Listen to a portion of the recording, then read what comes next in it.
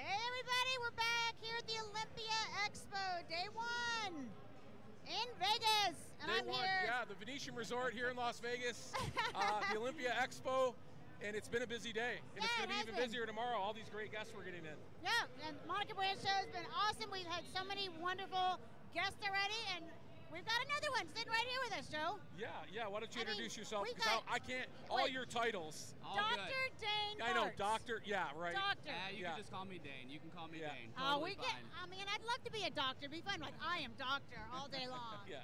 Well, let me tell you, But I, I'm not, but- it, it, it's a wealth of knowledge sitting next to us. I know, right? Yeah. It's like, we gotta I- a- learn. In a five-minute conversation, my brain kind of already blew up a little bit. uh, this guy's got so much going on. Where do we want to start, though? I think probably the Olympia University and talk about what you talked about today a little bit. Yeah, so actually I haven't talked yet. I actually got my uh, my presentation here in a little bit. Oh, good. This is a so we'll warm-up get you, for you. We'll get It you is. warmed I'm up just, here. You know, I'm getting my vocabs out right now. Yeah. But Get you- overall, my presentation is about preparing for the KPI. So my big What thing is that KPI? I, I know, right? Right there, Yeah. that's a big word. So overall, key performance indicators. So obviously, when you're in the gym and you're trying to find out what you really want to focus on, how do we determine that, and how can we actually test it? You know, using data like, hey, I did a max lift.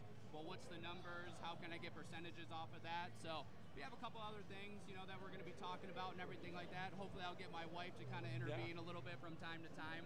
But overall, preparing for the KPI. KPI.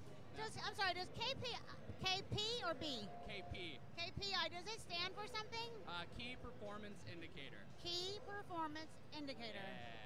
So a little bit like that business philosophy in a sense. So you got your OKRs and your your KPIs. Right. The RIRs, the RPG, RP, Yeah. I mean, they're all of it. But this is kind of it, though. This Yeah. is that acronym is the start of it all. Yep, Because these key performance indicators, everybody's really relating to them now. They resonate with everybody. Yeah. Right. Because a lot of the program we see today is based off percentages, Yep. max lifts. How do we apply that? Yep. How do we go into a program or a training block with that? Yep, And that it all starts with the KPI. Yes, 100%. It's kind of like what you're focusing on for the training session. So it's like, how do we determine that? And that's truthfully one of the biggest things. You know, definitely within the bodybuilding world, you really want to work on symmetry and getting the body to develop to get the growth factors and all of that. So how can we really determine that and selecting it for some particular people or a population that we're working with? Right. And population is key. Yeah. Because it's not all about competition. Yep, that is Yeah. true. And Right. I- you know, like, overall, I, o- I do own a business. It's called LinkFit. We're in Rochester Hills, Michigan. So Yep. we have a general population. We have athletic environments. We have contracts with high schools, other sports organizations, and everything. So when we're working with our overall clients or our members, we really want to determine what we need to use with them and how we can actually determine that for training sessions or overall a program, a training program. Yeah. So nothing random. That, that, that is There's no true. random. No randomness. We try. We try to just be focused, and I always say like the reason why I kind of came up with like the KPI, it's getting down to business. You Yeah. know, that's like the biggest thing. You know, when I train to myself, when I'm training with my clients, I always say that like let's get down to business. Let's actually Yeah, yeah. fucking train, like doing that type of stuff. I want to know more about you as well, though, Yeah. because you're a young guy, I- I'm 36 years old. 32. I- 30, 30 32. 32. That's even worse, right? And Because he's so smart at 32. You got a lot of letters after your name. yeah, right. How did it all start for you? Let's let's kind of give us a brief Yeah. sort of. Yeah, so I'll make it quick, but overall, small town, that's where I grew up in, Romeo, Michigan. You know, I definitely wasn't in a lot of team sports per se, but I did the independent or the intramural type of things, you know, playing with friends and all of that. My big sport that I played was actually lacrosse. So, you know, I Ah, had an option to go play college lacrosse, but I decided I wanted to go a little bit more of the academic, focusing on those types of things, continuing Yeah. education. So I went to Oakland University, got a degree in exercise science, kind of really started interning at that time, working with a lot of the athletes that they had for the the basketball team, the baseball team, the volleyball players, and really kind of to dive deep into that.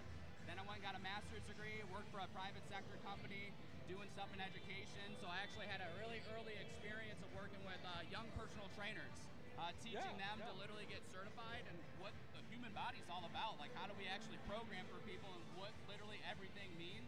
And then I decided to get a PhD, and then when I actually got my PhD, Why it not? opened Up, hey, it, it Yeah. is what it is. It's just But- another few letters. Yeah, it right. is, it is. But overall, you know, I enjoy academics. I enjoy teaching people. You know, I'm very fortunate, you know, to, to have the knowledge that I have, but I want to make sure people understand what training's really about and how we can actually approach it for, like, overall a smart training session.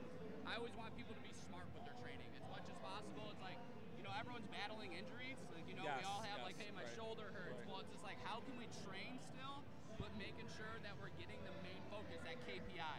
You know, it, it sounds to me you're involved with a lot of this sports programming. then. So it's on another level because sports programming in general isn't. I know we all kind of take it for granted. This information's been around for a long time, Yeah. and maybe it has, but the digestibility of it is is fairly new. Yep. And the way people are presenting it now Yep. to Right. make it sort of applicable is that Yeah. a good way of looking at it? Yeah, I mean, overall, it's like, you know, I'm, I'm affiliated with the NSCA, the National Strength Conditioning Association. So I am actually the Michigan State Director. So kind of helping out, involved the, the clinics, the continuing education events. So working with that team and just overall having the exposure of the network of people that you have at your hand.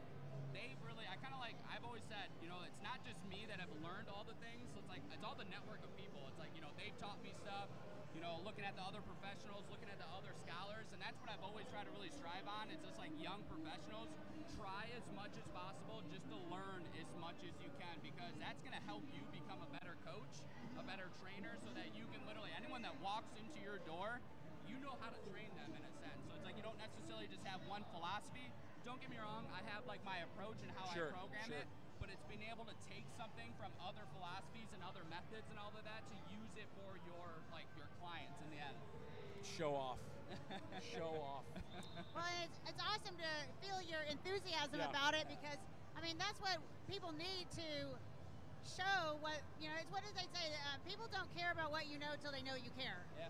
Right? Yeah. And then they're interested in learning what you have to offer. And you can just feel your enthusiasm about what you know and, and for people and to get that information across to them. So we need more people like you. You, you need to have passion. Yeah. I mean, truthfully, hands down, it's I mean, it's a struggle. I mean, you got all that education to give back to other people. You try, you try, Right? but yeah, it's like I'm, I'm, I'm super actually proud that you said that. I'm happy that you said that because you need to have passion. It's like Yeah. I love working with people. I love training people, and it's like hands down, that's one of the biggest things that you really need to focus on is just loving what you do. Mm-hmm. Because at the same time, I actually Yeah. view every day that I work, it's not work to me. It's just I do it. Like, no, I, it I'm just sounds like you really love it. Um, you know, you're in you're in Romeo. You said now, right? Rochester Hills, but I'm Hills. from You're Romeo. from Romeo. Yeah, yeah. Well, see, I'm liking this already because I'll be able to pick this guy's brain like on a daily basis. Do you work? You also coach. Yep. And, and your girlfriend, or wife, girlfriend, Yeah, wife, wife, yeah, yeah. still coaches as well. Yep. Former NPC bikini competitor. Yes. So you do? Do you work with a lot of athletes currently? So we, we kind of stopped over the years. So Okay. she she competed for a couple of training set or uh, overall competitions, and then as we started to open up our business, you know, the brick and mortar as a two-person team, it took a lot out of us. So you know, we kind of made the executive decision to be like, you know what, let's move forward. She wants to go back into it, Yeah. but we used to coach a lot of actually girls throughout the, the all the NPC and Yeah. then over the years we kind of stemmed towards like that education Okay. and more of like the Okay. the athletic population and everything. I always say everyone's an athlete, but it's like True. more like the sports, Yeah. the basketball, and all that over the years. There's a, bit more of a bit more work involved in that, though, isn't there? Where it's you don't want to spread yourself thin with the information. Oh yeah, It's, even at the same time, it's like you know we're starting to get overall. This is a good problem to have, but where we already kind of have our schedules full. Yeah.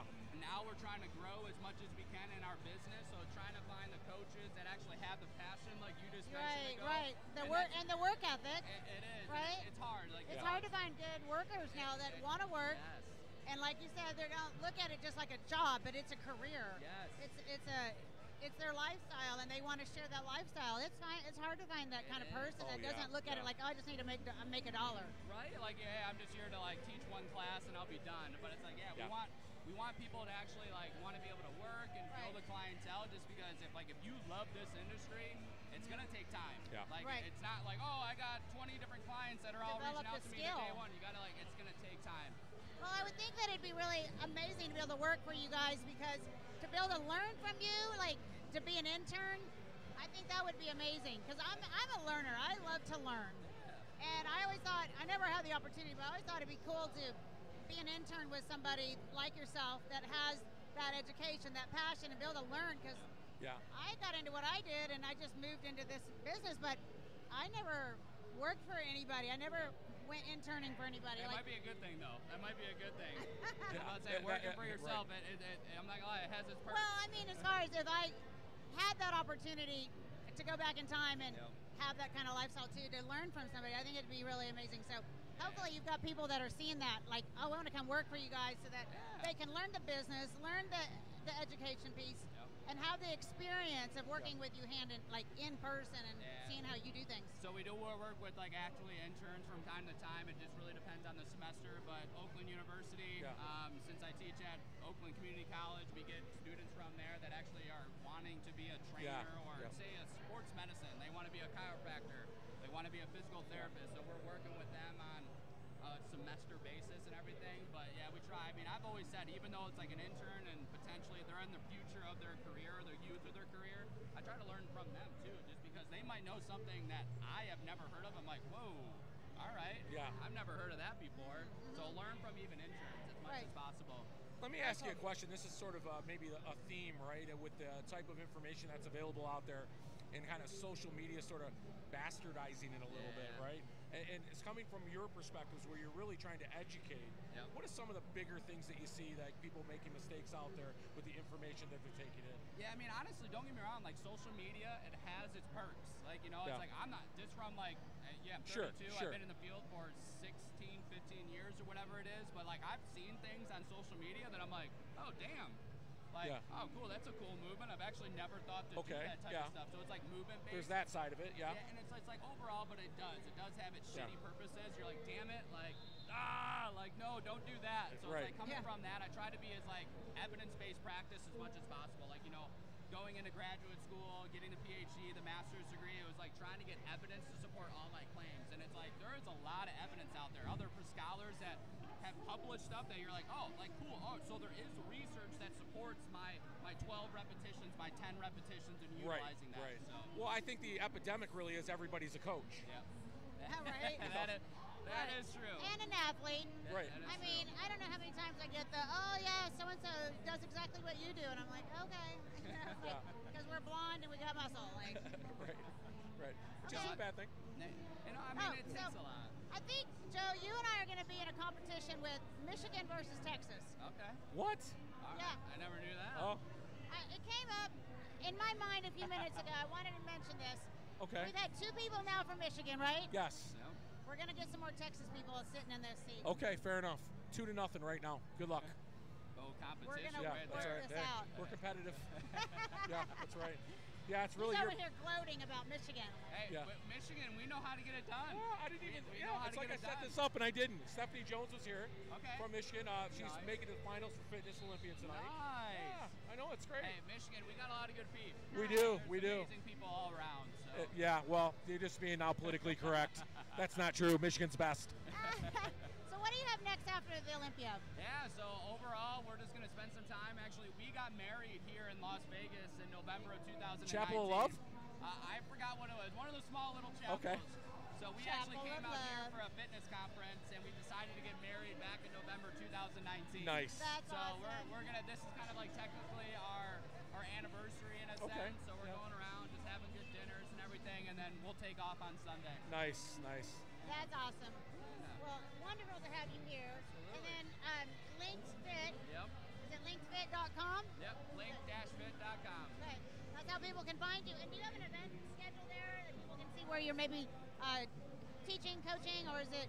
Overall, so I post a lot on my social media, that type of stuff. When I got my up, upcoming presentations, anything that I'm involved in, social Okay. media, my email marketing, and all that type of stuff. there. It's posted on our website as well. So we try to be as interactive as Yeah, possible. sounds great. And I have one more question. Are you going for any more educations to get some more numbers or letters behind your name? Right. So I'll be honest with you. I've been dabbling over the last like couple of years. See, Yeah, you got ever- it. Yeah. ever since, Dabbling. but it was a master's in business administration. Ah. so me as owning a Oh. business, Boring. I kind of wanted to learn a little bit more. I Yeah. haven't Okay. started it, so that's the perk of actually being an academic. So I, I, I teach. I'm actually Yeah, a faculty yeah. member at a couple different places. You actually get free education, so I can actually take. Courses. Oh, that is true. Yeah, yeah. So it's like I thought about just taking a couple, couple business courses, but I don't know. I'm getting pretty comfortable now. I don't know if I want to go have that other two-year program. It, Well- it took a lot. It took me five years to get my PhD, and it, it took a lot of effort. So I, I think I'm done. I think Yeah, I'm take a break for a while. Yeah, enjoy yourself. Hey, listen, Well, but anytime you, deserve want to get on a great podcast in Michigan, Yeah. uh, just saying, Absolutely. plugging, yeah. Look up the the- Gym Life podcast. Come on Yeah, on. let's do it. Yeah, all right. Sounds good. Absolutely. Appreciate it. Absolutely. Absolutely. Thank you so much for coming, Doc. Absolutely. Thank you guys so much. Hopefully, you guys learned something, and stay tuned. Yeah, That's right. right. All right, Thank guys, you. we'll be back with some more awesome interviews here at the Monica Brant Show. Don't go anywhere.